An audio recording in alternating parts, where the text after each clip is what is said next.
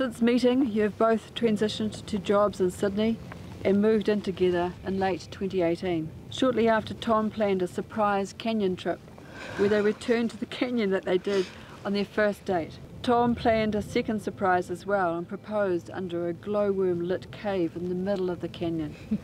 a much better trip than the original. Silly.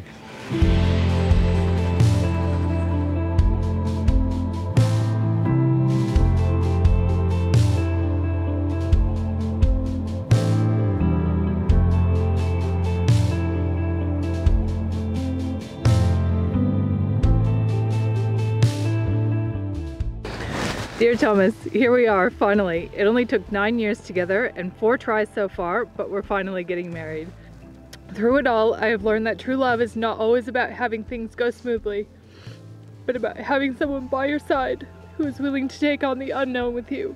I cannot wait to continue this adventure with you by my side. I love you more than words can express, and I'm honored to be your wife.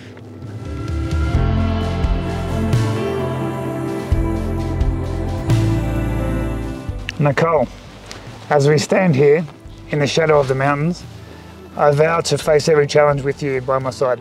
I vow to be your faithful partner in all things, for better off and worse, for sickness and in health, thick and thin. I love you more each and every day.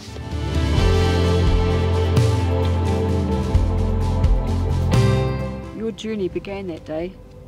You took the time to learn what makes the other person smile, what makes them laugh, and how to best support them when life is less than simple. You built a new village with your love and have worked every day to support this village as it changes and grows.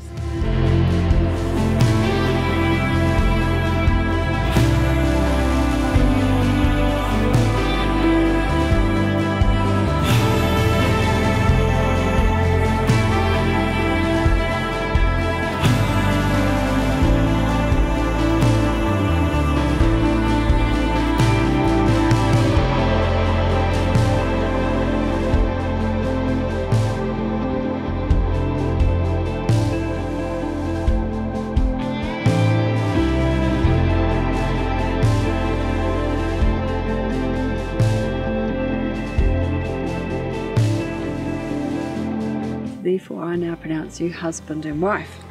So may your first act as a married couple be one of love. You may now kiss each other for the first time as husband and wife.